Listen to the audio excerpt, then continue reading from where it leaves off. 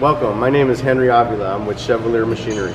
Uh, I'm here today with a Smart B818IV and today I'm going to demonstrate the installation and the removal of an 8-inch grinding wheel. Let's get started.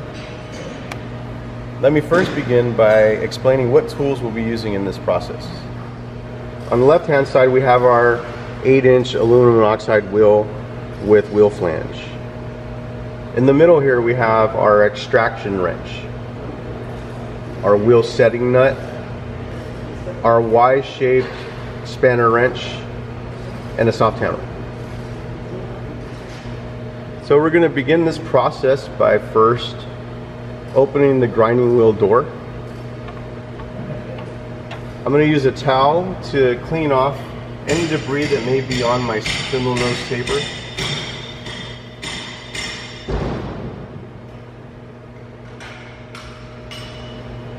Next, I'm going to grab my wheel with the weights facing me, place it onto my spindle nose taper securely.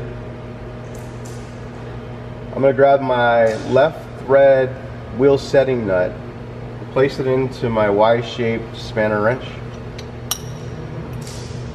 Then I'm going to use this to tighten it onto the wheel.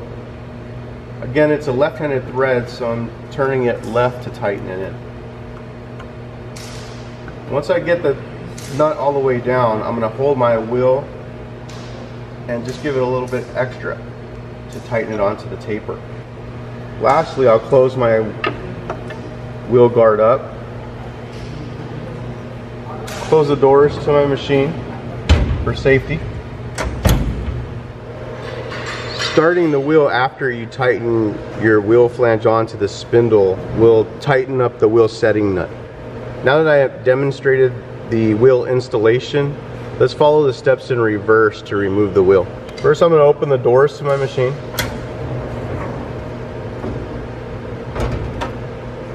Open the wheel guard back up. We're going to use our Y-shaped spanner wrench again. Place it onto the wheel setting nut.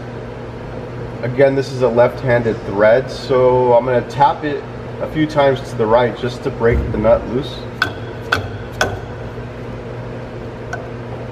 Once the nut is loose, we can completely remove it.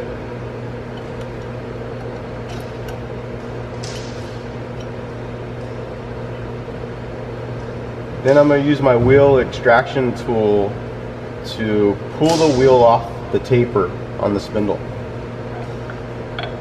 This is a right-handed thread you can just tighten this all the way down until the wheel pops off the taper. Once that is complete, the complete wheel will come off the spindle nose and you're ready to change your wheel. That concludes our demonstration of the wheel installation and removal. If you have any questions, please contact Chevalier directly or give us a call. Thank you.